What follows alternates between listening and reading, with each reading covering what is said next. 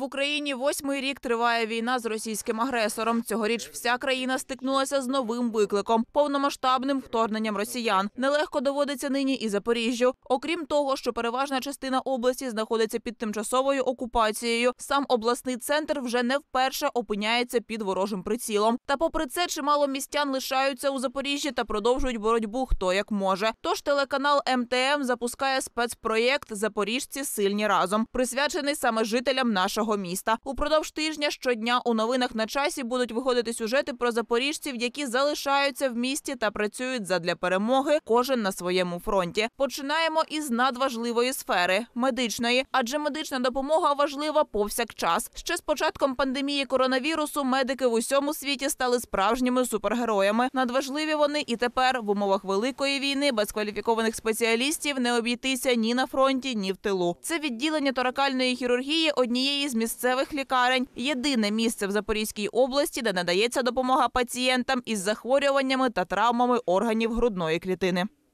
Це е, закрита травма, це падіння, це е, травми, які е, людина отримала внаслідок кримінальних дій або військових дій. І саме постраждалі від військових дій нині у відділення потрапляють найчастіше. З новими хворими тут цілком можуть впоратись. Дефіциту кваліфікованих кадрів та обладнання немає. За потреби одночасно може працювати кілька операційних. Вони розгорнуті цілодобово. Також є можливість розгорнути додаткові місця для пацієнтів. Значно побільшила кількість е, хворих з вогнепальними пораненнями, мінно-осколковими пораненнями, а також контузіями органів грудної клітки. Е, Кваліфікована допомога таким хворим надається в значній мірі лише в нашому відділенні.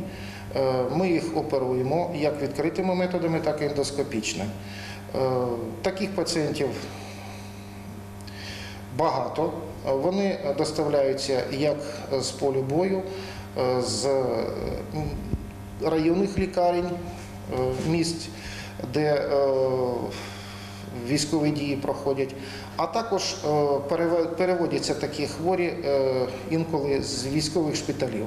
Завідувач відділенням торакальний хірург Роман Лаврухін працює в цій лікарні вже 27 років. Каже, з повномасштабним вторгненням Росії, окрім специфіки проблем, з якими надходять пацієнти, змінився і графік роботи. Я та ще кілька лікарів майже знаходяться тут цілодобово. Перші е, 4-5 місяців ми жили в цій лікарні для того, щоб е, надавати медичну допомогу постраждалим внаслідок військових дій. Це е, солдати, а також е, цивільне населення, яке доставлялося сюди з пораненнями. Нині ж лікарі можуть ночувати вдома. В медзакладі лишається чергова бригада. Але за потреби інші спеціалісти можуть приїхати в лікарню в найкоротший термін будь-якої частини доби. Характер поранень е, змінюється внаслідок тих, е, тих військових дій, які е, на даний момент є. Це або артилерійські дуелі, або поранення зі стрілецької зброї на момент атак, тому і постраждалі надходять або вони йдуть з кульовими, е, декілька постраждалих, або з мінно-уламковими пораненнями.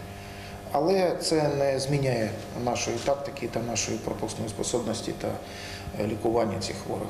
Ми, ми можемо е, любі поранення е, лікувати, і персонал наш до цього готовий.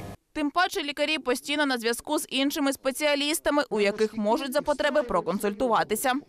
Дуже гарні у нас є результати їх лікування. Ми спілкуємося з госпіталями військовими, ми спілкуємося з Києвом, з тими лікарями, які майже ну, весь час працювали з цими пораненнями, тому ми так скажемо в онлайн режимі стажуємося по лі- лікуванню цих хворих. Ми проходили курси е, удосконалення на військових кафедрах е, військової медицини у місті Харкові.